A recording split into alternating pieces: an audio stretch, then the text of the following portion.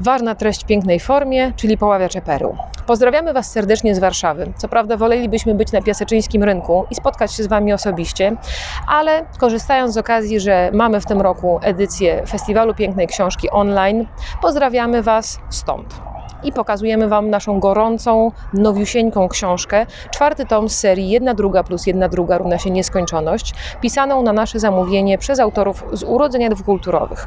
Każdy tom jest wyjątkowy, ale ten, który Wam pokazuje Dwa Królestwa i Wielkie Morze Witolda Vargasa jest wyjątkowy w sposób szczególny. Zresztą zobaczcie sami to Leporello, czyli harmonika, wydana na jednym ponad 7,5 metra długim kawałku papieru, którą autor sam napisał i sam zilustrował. To metaforyczna opowieść o jego rodzinie, o ogromnej sile sztuki, takiej, która potrafi uleczyć świat, skąpana w realizmie magicznym.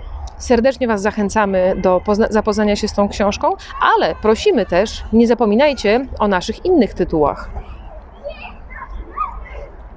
No i przede wszystkim mam nadzieję, że za rok spotkamy się już face to face w Piasecznie na rynku, tak jak zawsze. Pozdrawiamy.